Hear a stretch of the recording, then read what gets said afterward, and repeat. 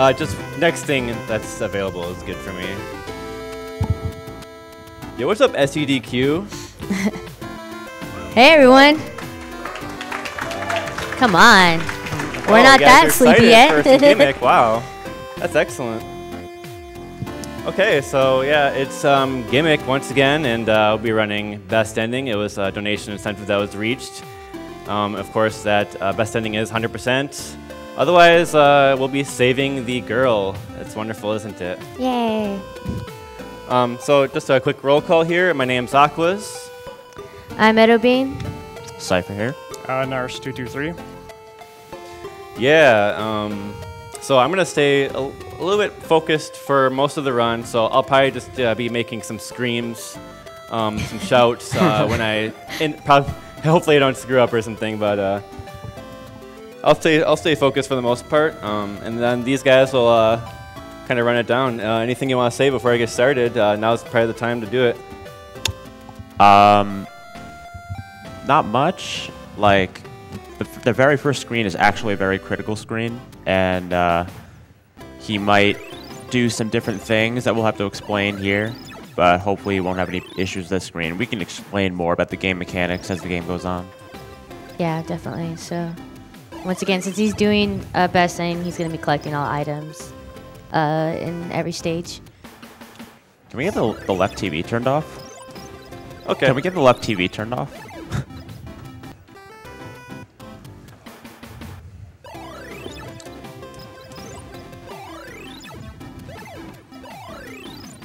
Go ahead. No, go do.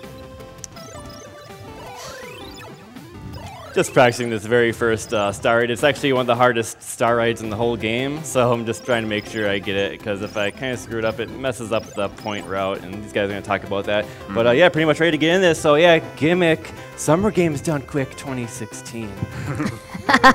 Woo!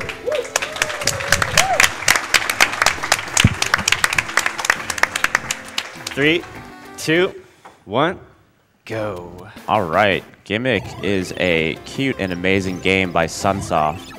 And so the best ending run, you have to collect six special items, one per stage, in order to access the seventh secret stage and defeat the final boss there. And Gimmick has a very unique mechanic where you have to manage your points throughout the run. Points determine when items drop upon killing enemies, and it's not random. An item will drop when the tens and hundreds digit of your score are the same digit. So he's going to collect some bombs at the end of this stage from the boss, and well, he's going to collect one right now. But you want three bombs heading into the beginning of stage two. So he's going to collect one off the boss here. See, he's got 440. Then he'll collect a third bomb at the beginning of the second stage. And so this in this entire run is based around your points that you get. You need to have the right items for the right bosses and to do a few strats. And as you can see, the star is the central weapon in the run. Uh, you use it a lot to travel quickly and reach places you wouldn't normally be able to reach, such as that treasure, you know, at the very beginning of stage one.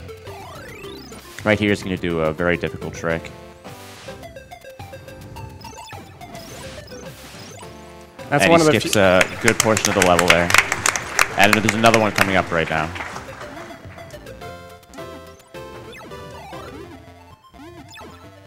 Yeah. All right. All right. I can go home happy, folks. Stage two is like the big possible choke point of the run. Uh, those two tricks, if you miss either one of them, it wastes a lot of time. AKA pure embarrassment. Yeah, We don't want that. very, very scary for a live marathon run, but Aquas did it. We. All right. And this next enemy, uh, he's sleeping on the job, and if we take too long, then he'll actually wake up, which we don't want. And so we just push him off. Simple as that. and so coming up here is the waterfall skip, and since the incentive got met, he will not be doing it. So it's unfortunate that we don't get to see that in a Sorry. GDQ run here, but because that's probably uh, the oh! hardest thing to do oh, in the oh, game. No. Oops. That's a very tricky uh, star shot because there are logs that come down from the top, and um, if you get hit by one, it's really bad news. I'll take it nice and easy. yeah. Yeah, for those who like have never played this game, this game is just it is ridiculously hard to do and it's amazing seeing these speedrunners do this game. Yeah, it might look kind of simple-ish, but um, the physics are not too intuitive, and the enemies as well. They have very unique AI for an NES game. They actually move according to your position, sort of. Most NES games, they sort of like keep spawning infinitely in the same spot or that kind of thing. But this game is very finely tuned. And there's your neighbor Totoro. Bye. Yeah, and when you hit a slope, you start going faster too. So depending on how fast you're going, uh, your inputs are gonna have to be different. All right, this boss coming up, uh, he specific- specifically has three bombs routed for this boss. You'll see why. Oh, missed that one. It's like eight seconds lost it. So we actually get to see the So you'll notice, this time. you'll notice he waited for the snail to stop moving in order to hit him with the star. If he had no bombs, he would have had to do that three times. So he was able to save a lot of time there.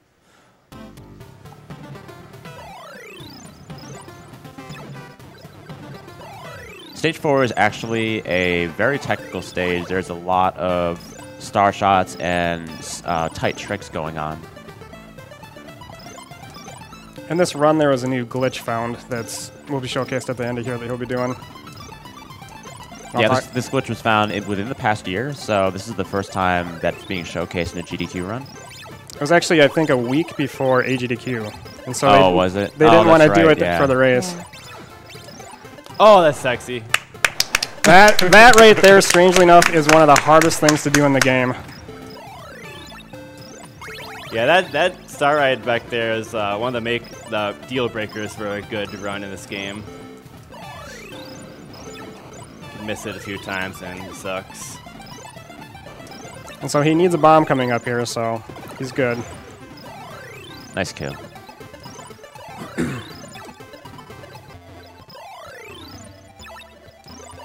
Nice, and just carefully skip that ledge so you can grab the item. Whee! Yeah. Whee! Oh, yeah. Aw, then he just falls down. You all clapped too early. still wee. oh, it's good. Okay, so now on this boss here, he's going to throw a bomb, and this bomb is going to cause basically a sprite overflow on the screen, which messes up some memory. And so uh, Yumetaro, or Gimmick, I guess, is his uh, hitbox is going to be a lot smaller, and so he gets uh, zipped through ceilings. oh. There we go. There we go. Nice. All right, it's gonna look a little weird. Don't worry. Just a little. All right, we're back to normal now. so he basically uh, warped from the second screen of the stage to the middle of the stage. And I think that's just because of the way the rooms are arranged in the game's memory. But that was because of the glitch that was activated at the end of stage four. And the glitch will be in effect until either a game over or reset. You also notice he kind of jumped into the ceiling there right before the conveyor belt screen. Uh, you can get tiny little speed boosts doing that throughout the rest of the run. Oh, there goes a bomb. okay, that's that's that's okay.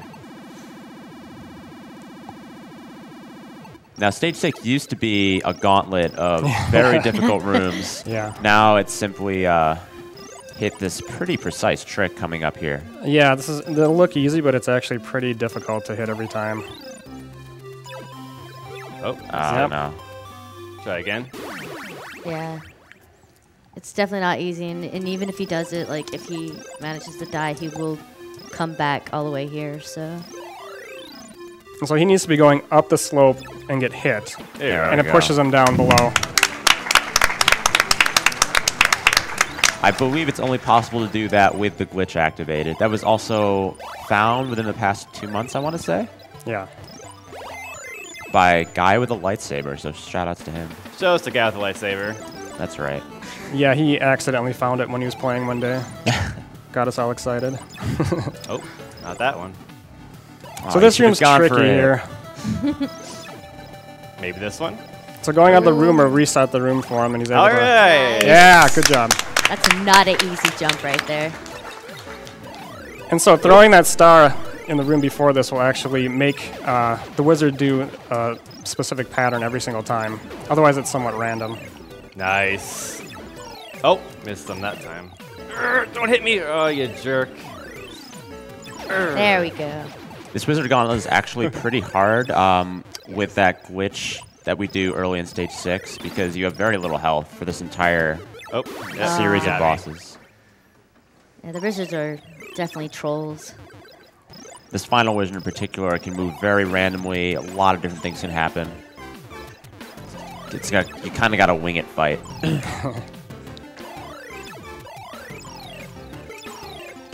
Oh, ooh. Oh, oh yeah. Wow. Oh, All right. nice. Round two was excellent. That was that was pretty sick. And so, So- this is the extra level here that Yeah. you wouldn't normally have if you didn't get all the items. Mm-hmm. Hey, we get the bad ending, unfortunately. But nope, we're gonna save the girl. So So the plot of this story is that um, the girl in the opening cutscene gets a new toy, which is Yumetaro, or the green figure you're seeing right now, and the other toys get jealous and kidnap her to this. Oh, uh, nice. nice. nice. That's really I tough know, to do. It's a very difficult thing to do. Right in the sweet tooth, right there. So See they, later, they kidnap Tooth. her, and um, she's being held in this stage, which you can't access without getting the six items that we were collecting throughout the stages, the normal stages. And so with the glitch active here, he can't actually jump up and up the screen here. It's not possible. So he has to kill himself, and it'll he'll start up above now. Yeah. He showed this screen for one or two frames, and then uh, he dies so that it recognizes this as the checkpoint. Oh, nope. That's a sinker. Good read.